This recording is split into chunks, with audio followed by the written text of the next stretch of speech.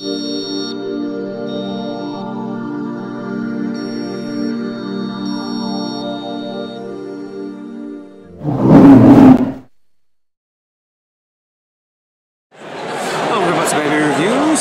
now we've got a couple of extra little beers going on. Um, I'm going to butcher the pronunciation this one, but Jester King uh, from Texas with their Gotlandsdricka, which is a farmhouse ale brewed with smoked malt, juniper, and Myrica gale.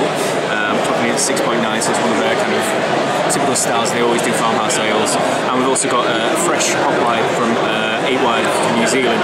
It's the usual stuff Motueka. Um, I think he said Mosaic and something else as well. Uh, off the top of my head, I can't remember. But he said they literally came off the binds in March and were straight into a beer within 24 hours. Um, so that's what we've got there. I'll probably hit the IPA first. So this is um, this is what it looks like. It's a nice uh, mm, mid to dark kind of peachy colour. A little bit heavy in it. It's very resinous. There's tons and tons of kind of floating alcohol in it.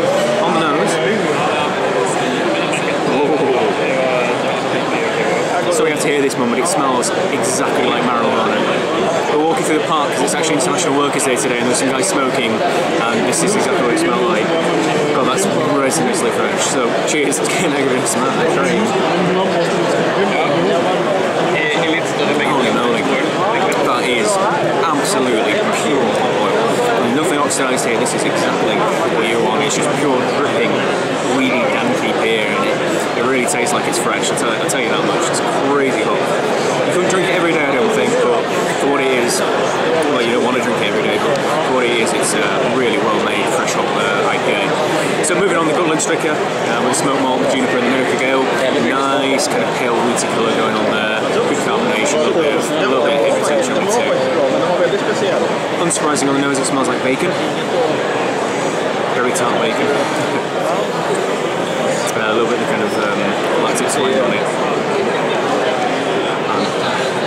There's a little bit of fruitiness as well, but whether or not it's juniper, I can tell you. So cheers, let's give it a try. It's got a little bit of body to it. Um, usually I find that Jester King beers quite, quite watery, quite thin. It's got a nice, strong. It's probably the strongest sour I've had today in terms of like lactic acid. Very tart, strips the mouth quite a bit. You get that nice little hint of smoked, smoke malt, um, kind of fizzles over the tongue, and then you get a real, a really distinct juniper finish, a real berry juniper finish on the end of it. Now I don't know what Myrica gale is or what it tastes like. Um, I'm sure that's probably playing somewhere into the mix as well, but it's very well made beer that one as well. Um, so uh, in terms of uh, fresh Hopwired fantastic, really really good. That's a double thumbs up. And the um, Gotlandsdricka is definitely interesting. Uh, probably give that a good, a good at least one thumbs, one and a half thumbs up. I think that's a pretty good beer as well. Uh, definitely interesting. Definitely definitely interesting. So there you go. Uh, please like, comment, subscribe from here at CBC. Cheers.